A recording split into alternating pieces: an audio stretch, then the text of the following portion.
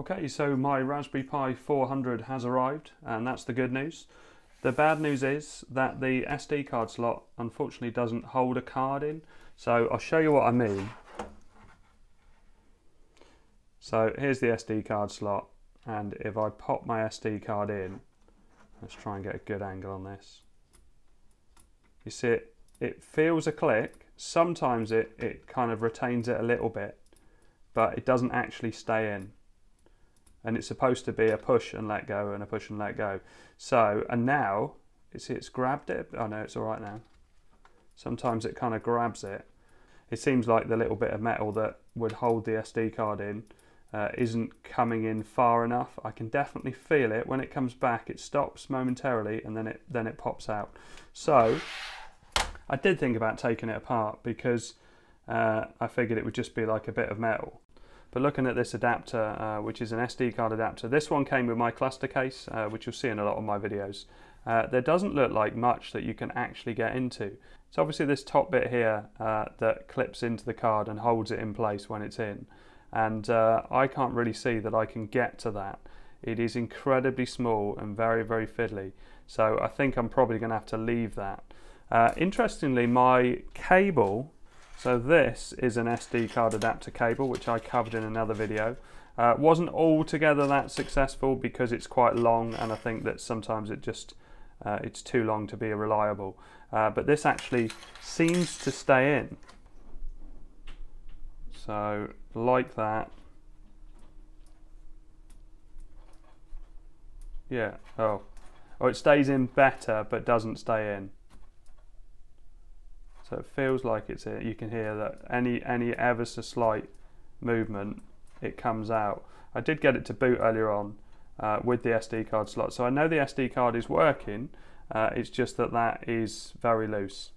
So I can't really do the video I, I was planning on doing. Uh, I can mention the, the mouse uh, that I ordered. So I've got a dongle here, uh, a USB dongle, which comes with this mouse. It also comes with this USB-C dongle as well, so uh, suitable for new uh, laptops and MacBooks and things like that. But more importantly, it supports Bluetooth. So if you have a look on here, uh, it's got uh, Bluetooth 3.0 and, and uh, Bluetooth 5.0.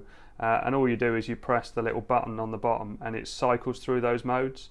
And this was less than £6 on Amazon. it's a pretty good match for the Pi keyboard. Uh, but I just thought it was preferable to having a wired mouse all the time.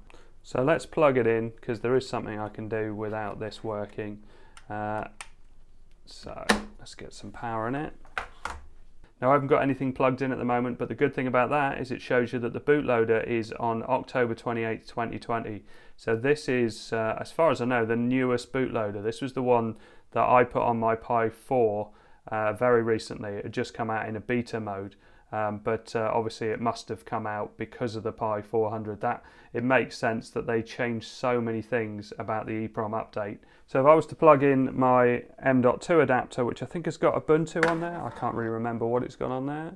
Uh, if I plug it into the USB 3 socket,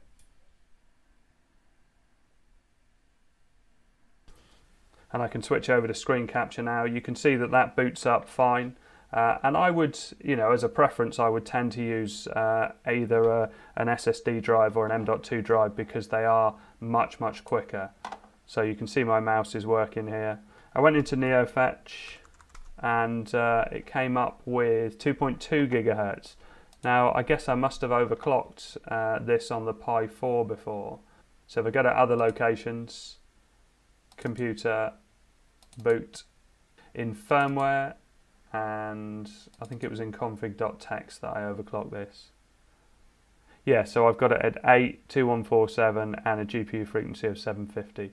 So, uh, but what I'm going to do is do a separate video showing what things USB boot. So we can see that an M.2 drive works with my adapter and it booted up absolutely fine.